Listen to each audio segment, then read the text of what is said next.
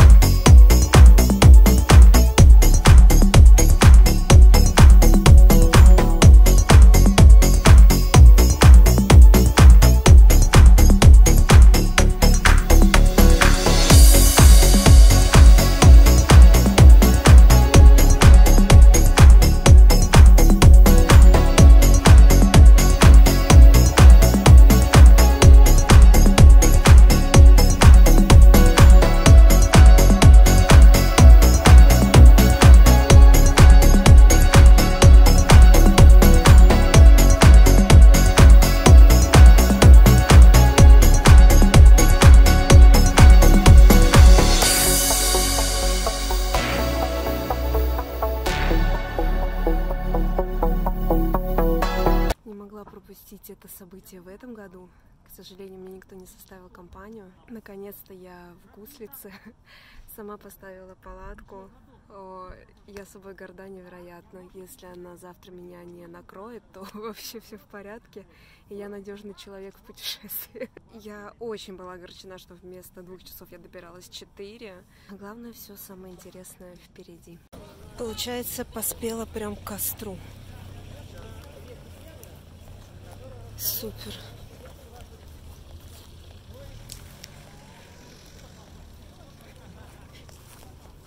Ой, палатка у меня рядом.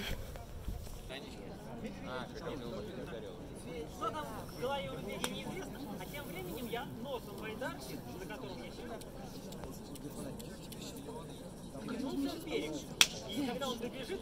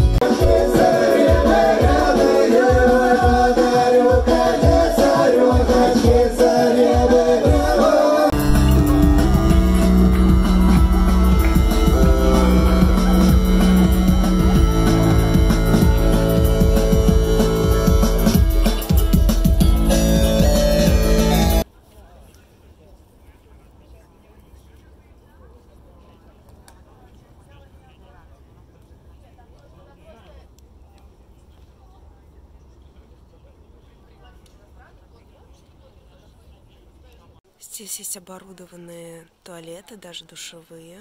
Душ даже не рисковала, вон там ребята пытаются помыться, но вода холодная, раковин. Сейчас полдевятого утра. Все начинают просыпаться.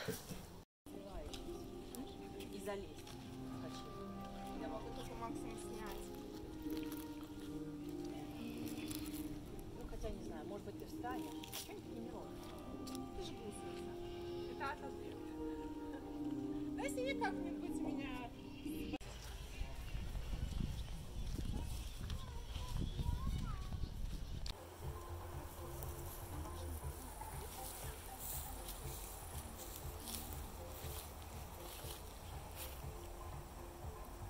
Я как про это пыталась рассказать, что здесь смотря чего вы хотите. А, у нас никогда не было цели делать авторские туры. Не- Немцы ущемляют права своих женщин, что они даже ввели такой термин «сакрально нечистый», с чем я абсолютно не согласен. А, просто это разные энергии, это разные силы. И, например, женщина, она является а, хранителем дома, это ее а, пространство. И я, оказываясь в чуме, остаюсь без прав. Мужчина и женщина – это половины одного существа.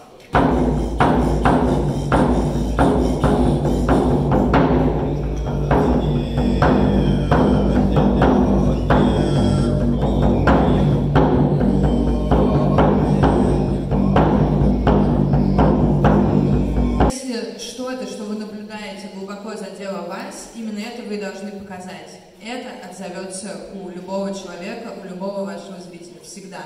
Будьте искренни.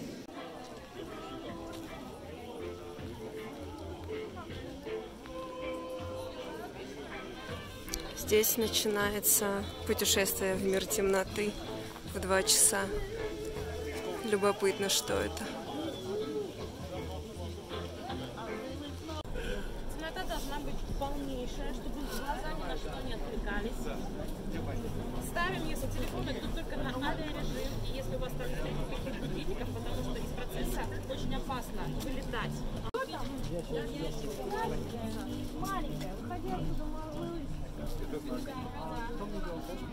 Просто стой, просто, просто себя наблюдай пока.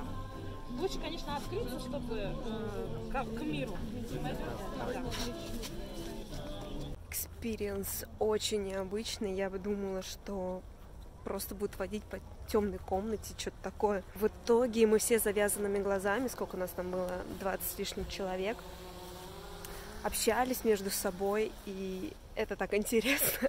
Я бывала в ресторане в темноте. Получается, что темнота действительно раскрывает нас просто совершенно по-другому. И это что-то вроде разговора в поезде с незнакомцем. Ты действительно раскрываешься и чувствуешь, что ты можешь сказать все, что угодно, быть собой, и это очень классно. Также я поняла, что, видимо, у меня все в жизни хорошо, потому что потом нас завели в темную комнату, Именно, кстати, этот этап подняться туда по лестнице был крайне стрёмный, потому что какая-то непонятная вообще лестница, куда ты идешь. И потом в темной комнате некоторые начинали плакать, и дроны там летают всякие. Взяла Ролтона покушать с новым вкусом. Я под впечатлением, все это длилось два часа, и это было очень-очень круто.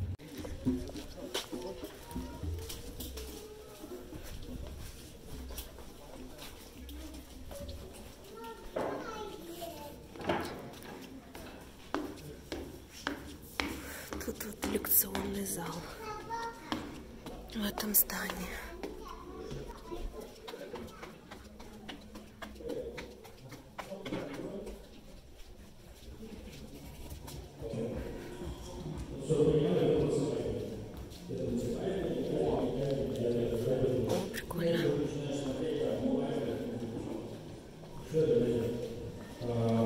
Объезжать снова нужно, потому что, разумеется, суд ходит вот так вот.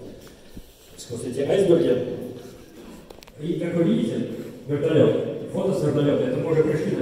радиацию, собственно, а, вот это вот уже Антарктиды.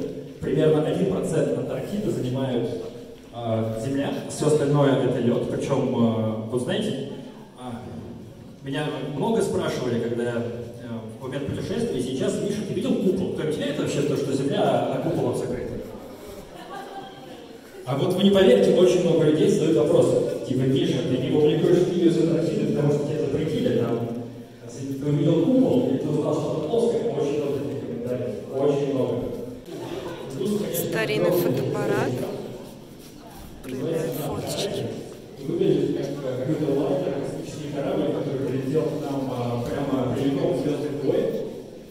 А, они пробовали, насколько я знаю, в этом примерно 10 миллионов долларов. Ну, а, стоимость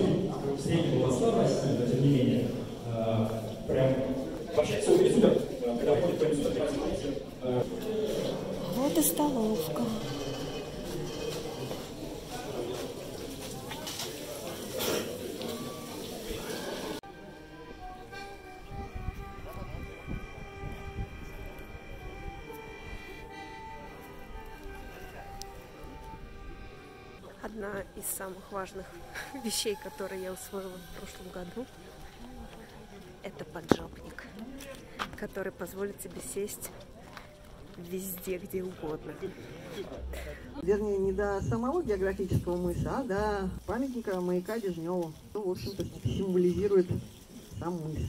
Вот такое путешествие у меня получилось. Четвертый раз на Чукотке я была зимой. У меня еще была мечта э, пробежать гонку за собачьими упряжками на лыжах.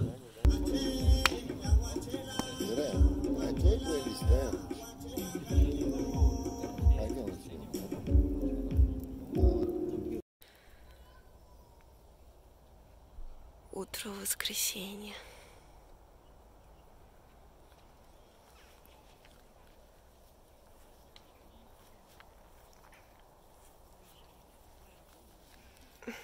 Шикарная погода.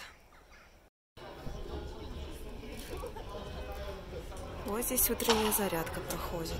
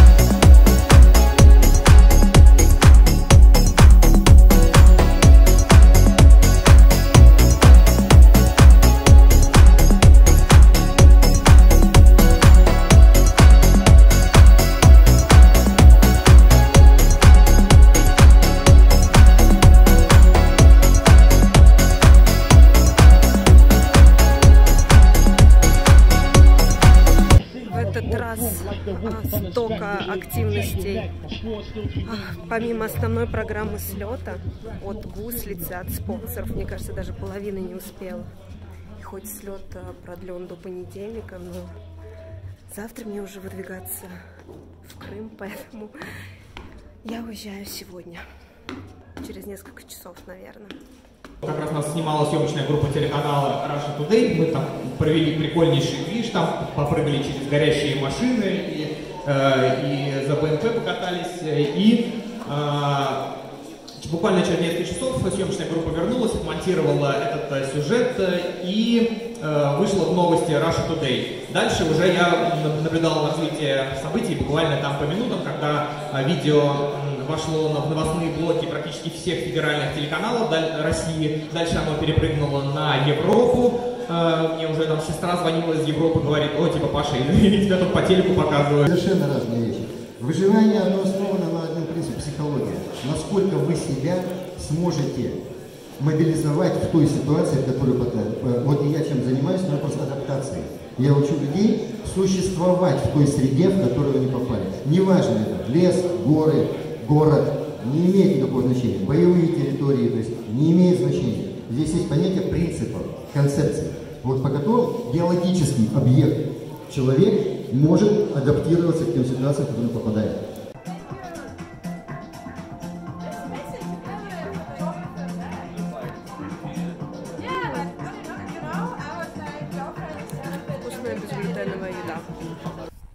Едут на электричке, но прямая электричка до Москвы ходит всего лишь три раза в день. Рано-рано-рано утром, в 6 часов вечера и уже позже. Поэтому я решила все-таки опять на автобусе, хотя вот сейчас народ идет на другую электричку с пересадкой, короче, можно до Москвы, но что-то мне неохота. Поэтому решила все-таки тоже на автобусе, но до остановки идти пешком полчаса по шоссе, грубо говоря, ну, короче, вот так вот просто по дороге, что тоже неохота. Я приехала, уже стемнело, и мне пришлось вызвать такси. Сейчас я тоже жду таксишку.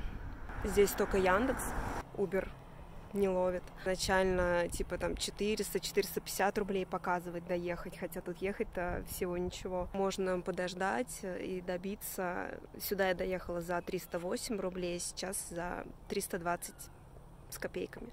Ну, такое. Хотя до вокзала железнодорожного 10 минут пешком. Хочу сесть в автобус и уже до Котельников доехать.